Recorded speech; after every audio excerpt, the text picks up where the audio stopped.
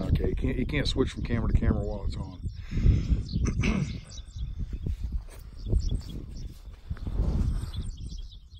Hello America, we're out in the field today. Uh, this is a field down south of town that got hail damage real bad. And uh, he's gonna explain to us how the insurance will come out and, um, what do you, what do you call it? Well, we carry crop Evaluate insurance, so they evaluate. They're gonna evaluate. left. Okay, so go ahead and take over. How do they do it? You can tell this field, I'm going to say 80% damage. It should be a whole field of heads, exactly like this one, is what it should be. Except for you can see where the hail hit that head right there. Okay. But see all this, it's broken off. It's been hailed about a month ago. I mean, it just beats it to nothing. I would guess 20% is left, 80% gone. So actually tomorrow the insurance guy is supposed to come out and they take a unit of measurement. I believe it's three foot, maybe it's 30 inches. So he'll lay down and mark it and then we'll count how many stalks. Almost, almost like an archaeology site Yeah. where they, And- they find dinosaur bones or something. Well, then, yeah, they count how many stalks Okay. is in that three foot or 30 inches, whatever that unit of measurement. And then, like, here's a good head that didn't get hit by the hail. You know, hail missed that one. But see all these other ones that are just destroyed? There's a, there's a, what should have been a good head, but it's kinked over. So anyway, we'll sit down. Here's another one that's kinked. But we've been cold enough and wet enough this year that a lot of these kinked heads are still putting seeds in. okay, explain So- that. Well, normally if it'd been hot and dry like we normally are, these heads would just been nothing. But see, we can take, there's still little seeds growing in here. Well, that one there aborted.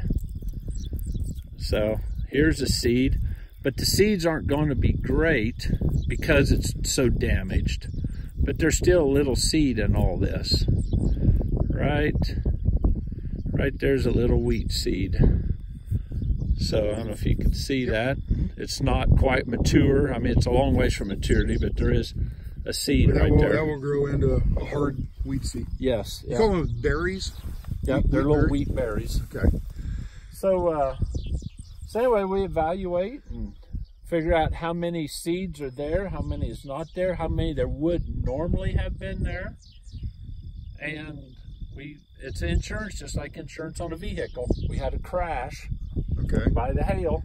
So much- we figure out what the value is left, and then the insurance company pays me a percent. Okay. You know, So if it's completely wiped out, there's zero, nothing here. right? They pay 100% Hundred percent. Yeah, of what you're insured for. correct. Okay. Correct. Yeah. Um, and if it's 50%, then they, they pay Yeah. you 50%, and then you harvest it and make the rest of it up? Yeah, Okay. exactly, exactly. So here, I'm guessing this field at 80%, maybe 85. The the difference will be is what, how many of these heads go ahead and make seeds? What's determined? Like, see that one is kinked right here. The hail hit it. It was broken off like that. Here was a leaf on it, which see the leaves are just nothing. So that what determines is how many seeds are still in this good head. And that's where the landowner or the farmer sits down with the insurance adjuster that comes out and we determine what's left. So this was hailed about a month ago. I said normally there would be nothing left, but we've been so cold, so wet, rain every third day. It's that, kind of uh, salvaged it a little bit. It, yeah, it is allowed where normally all these kinks, like here, that would have just died immediately. If it had been 90 degrees or 100 degrees, this head would have just immediately died. But because it was so cool, it still allowed nutrients to go through that kink right there. It didn't die. So therefore, that head is a harvestable head. So anyway, this is what a field of badly held wheat looks like. I'm guessing 80%. And we can take some videos of some nice wheat. And if you put it side by side, it'll be easily comparable. All right. Let's go find some nice wheat.